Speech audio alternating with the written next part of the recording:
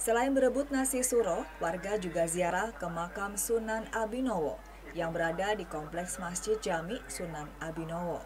Ribuan warga ini sudah antri di depan tempat pembagian nasi bungkus sejak Kamis pagi.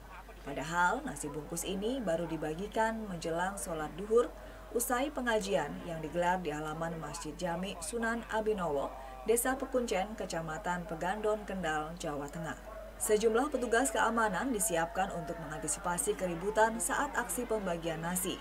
Setelah didoakan oleh ulama setempat, ribuan warga ini mulai merangsek ke depan lokasi pembagian nasi. Aksi saling dorong dan berebut tidak dapat dihindarkan. Panitia menyiapkan 10.000 bungkus nasi yang berisi lauk mie dan sambal goreng.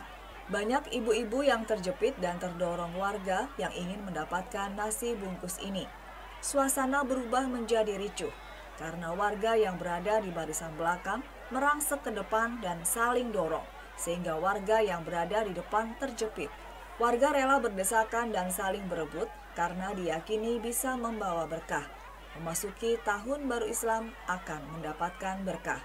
Menurut Nur Cahyati, nasi bungkus yang didapat akan dibawa pulang dan dimakan bersama dengan keluarganya.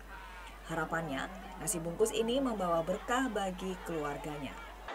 Itu nanti rencana mau diapakan? Dimakan, dimakan. atau dimakan? Biar apa? Barang. Biar apa, Mbak? Biar dapat berkah. Berkah. Emang setiap tahun ke sini Bu? Iya. Setiap tahun ke sini? Setiap tahun. Berarti rela berebut-rebutan Bu ya? Hmm, rame-rame. Berdesakan nggak tadi dap, anu, dapat nasinya? Desek-desekan. Ya, ya, nggak terima desek-desekan. Wel-welan. Oh, wel-welan. Tapi senang Bu ya dapat nasi Bu ya? Alhamdulillah, alhamdulillah. 10.000 nasi bungkus yang disiapkan panitia pun habis dalam waktu kurang dari 10 menit. Petugas sedikit kewalahan menahan warga yang saling berebut meminta jatah nasi bungkus. Panitia menyiapkan 10.000 bungkus nasi sumbangan dari warga sekitar. Sepuluh ribu lebih ya? Ini tiap tahun atau gimana Mas? Ya, call sekali. Setiap tahun sekali. Hall ya, acara hall ya? Nanti dibagikan para jamaah atau gimana? Para jamaah sama ini yang jaro-jaro teman-teman. Isinya apa sih, Pak? Nasi sama telur, mie, goreng. Ini dari mana nasinya Mas? Dari masyarakat desa Pekuncen. Kuncen ya?